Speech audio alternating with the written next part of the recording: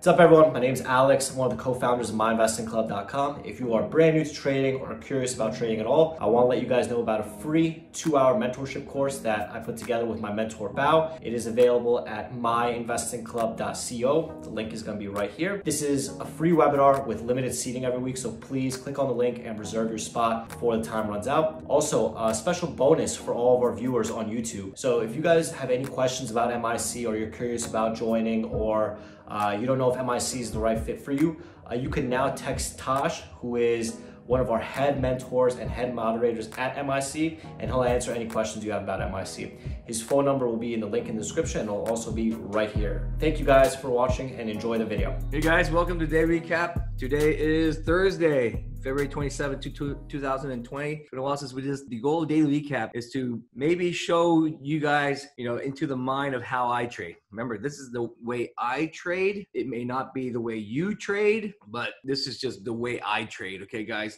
there's many ways to trade.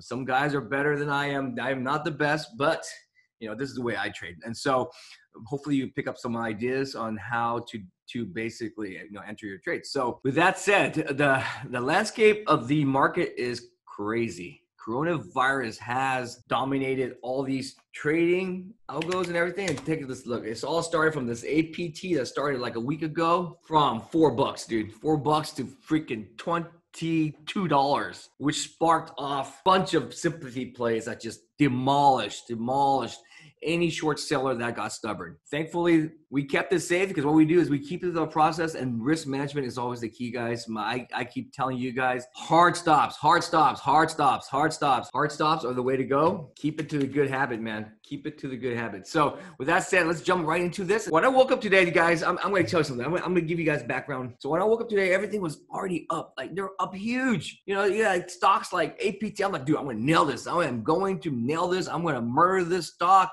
all this stuff, right? So you have stocks like CODX, you have stocks like APT. These are the head of the monster. Okay. So what happens? These are the stocks that started all. Meaning when I say it started all, I'm saying it started to ramp up. So APT was the original guy and they make surgical masks. I think these these masks, it's just it, it ran on a hype. Same thing happened during SARS, Ebola, 9-11, you name it. Every major, major news thing you know it comes up maybe once every six months once every year. You have a major event a news event that triggers a lot of these stocks to move like really crazy right? And the last time was sars ebola uh, this, you know, before that financial crisis, whatever it may be, it gets hyped up, man. Eventually, it's going to die down, but until then, you you got to be very careful. Okay, you you can't be just, you know, if you just trading and you thinking trading is all about valuations, PE ratios, revenues, earnings, you're fucking you, you're toast. So I see a lot of these expert guys are talking, oh, this stock Tesla should not be up this much because you know what, man, my my analysis like, who the fuck are you? the markets don't give a damn what you think. You know, uh, the markets run on hype.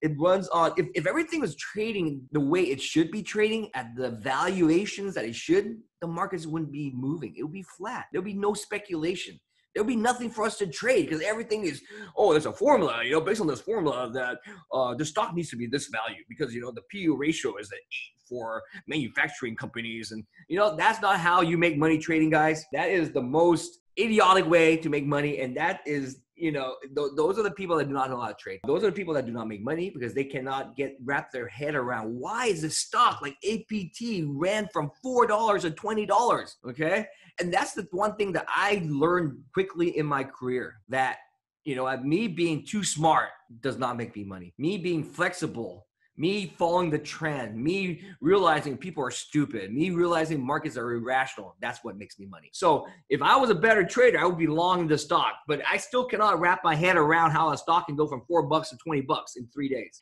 And I am very scared of always getting dumped on by an offering because the way I trade, I trade these uh, small caps for a reason. The end game is the same. It ends with a giant elevator down. we call it stair stepping up, elevator down, because boom, you're just dead. So look at this Corona. Look, look at this guy, man. 19 bucks down to $11. You go to the bathroom, you come back, and you're like, dude, uh, what the hell happened? How could I be down? And so this is why shorts get demolished. I mean, first shorts get demolished on the way up longs get demolished on the way down. And we do not want to be that guy and kind of guy. So what what what I like to do is I like to keep a process, guys. I like to trade the same way all the time. I don't deviate from my plan. If I deviate, I die. So of course I'm so attracted to trading these things long. I'm like, dude, but I'm like, Ugh.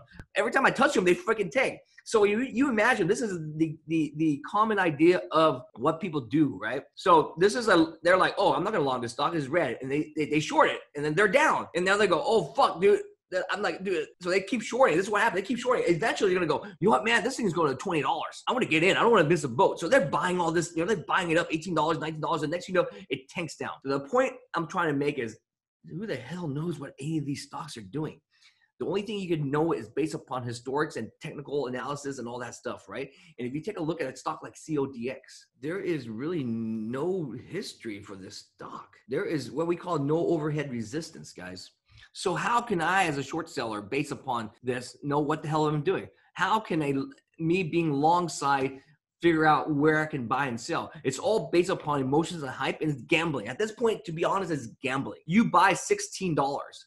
It's now at eighteen dollars. You feel like you're comfortable. You got a cushion. That cushion is erased within a matter of minutes. So, in my opinion, when you trade these, don't touch these. Touch them only once the chart has been formed. Cool. Thanks, guys. I'm gonna let you guys go. Who knows what's gonna do? It's too volatile. The easy money is over, guys. Easy money in the morning is over. All right. Have a good day, guys. Thanks. Thank you so much for watching our video. If you want to see more of our videos, please subscribe to our YouTube channel by clicking the button here. We do our best to post a new video every single day. If you have any questions about MIC or any general trading questions, please text Tosh using the number here. Also, stay up to date by watching some of our most recent videos right over here.